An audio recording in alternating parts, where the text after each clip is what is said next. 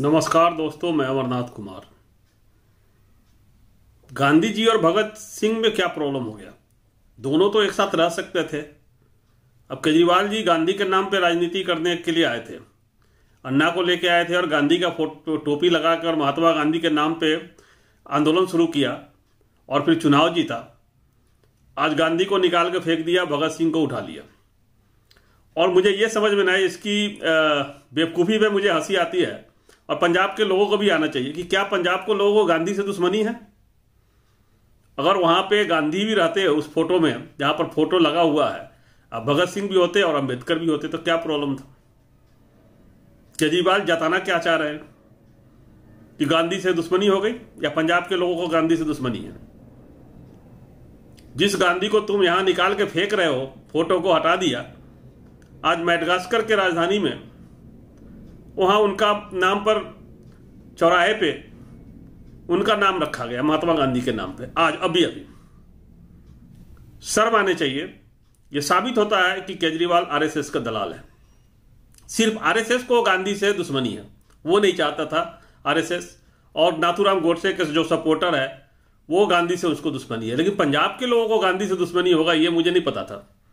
और ये पंजाब की जनता से मैं पूछना चाहता हूँ। कि क्या आपको गांधी से दुश्मनी है? गांधी और भगत सिंह की दुश्मनी कभी थी? गांधी और अंबेडकर की कभी दुश्मनी थी?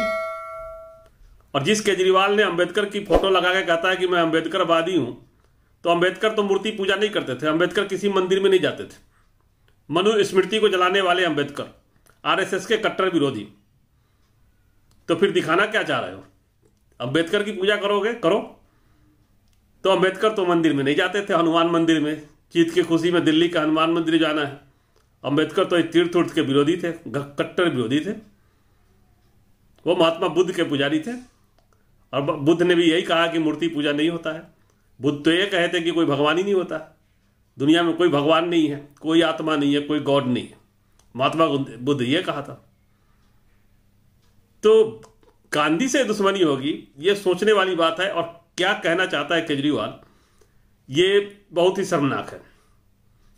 अंबेडकर की मूर्ति लगाइए, फ़ोटो लगा हुआ था, ठीक है, भगत सिंह का लगाइए, बहुत बढ़िया, भगत सिंह का क्यों नहीं लगेगा? तो बगल में गांधी का था तो उसमें क्या बिगाड़ था? आपको गांधी जी से दुश्मनी हो गई? मोदी जी को गांधी जी के बारे में पता ही नहीं था। वो कह रहे थे पार्लियामेंट में कि जो फ़ोटो फ़िल्म बनाया गया गांधी पे, तब दुनिया को पता चला कि गांधी कोई चीज़ है। और देश आज़ाद हुआ तब से लेके अब तक गांधी की फ़ोटो रुपया पे गांधी का फ़ोटो है, भारत के। ये भूल गए वो। पूरे भारत के नोट पे गांधी का फ़ोटो। है तो बिना महान आदमी के बन जाता है गांधी का फ़ोटो, क्या? हर देश में कहीं भी चले जाइए, उस देश के बड़े लोगों का जो महान आदमी है, उसका फ़ोटो ज़रूर है रुपया पे कहीं ना कहीं। नोट के ऊपर होता है। तो बिना महान के बने हुए हो जाता है क्या? जो पता ही नहीं था विश्व को कि गांधी कौन है। एक फ़िल्म बना दिया तो गांधी फ़ेमस हो गया, वरना गांधी को कोई जानेगा नहीं। नेल्सन मंदेरा तो गांधी के जानते थे। और गांधी के उसूलों पर चल के नेल्सन मंदेरा को लोगों ने जाना। मार्टिन लूथर किंग को कैसे हुआ? गांधी के आदर्शों पे वो भी चल रहे थे। तो कैसे बात कर रहे हैं गांधी को उखा के फेंक दिया। गांधी से केजरीवाल को दुश्मनी, चाहे आरएसएस को दुश्मनी सिर्फ़ इसलिए है कि गांधी ने हमेशा शुरू से ही दलित पिछड़ों की राजनीति करी। ब्रिटेन से आने के बाद दलित पिछड़ों को जोड़ा, मुस्लिमों को जोड़ा, सबको जोड़ा, एकजुट किया, क्योंकि सवर्ण उस समय अंग्रेज़ों के साथ मिले हुए थे। अंग्रेज़ों के साथ राय बहादुर बने हुए थे, कोई दरबारी बने हुए थे, और अंग्रेज़ों के साथ मिलके ही काम कर रहे थे। सिपाही में भर्ती हुए थे। अंग्रेज़ों के साथ मिलकर राइफल और बंदूक से गोली चला रहे थे अपने हिंदुस्तानियों के ऊपर। बहुत कम दो से चार प्रतिशत जो सवर्ण थे, वो लड़ाई लड़ रहे थे। बाकी नहीं।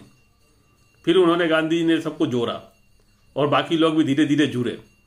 लेकिन जो आरएसएस के मानने वाले थे, वो नहीं जुड़े। वो जुड़े उधर ही रहे, अंग्रेज़ों के साथ ही रहे। माफ़ी बीड़ जैसे लोग।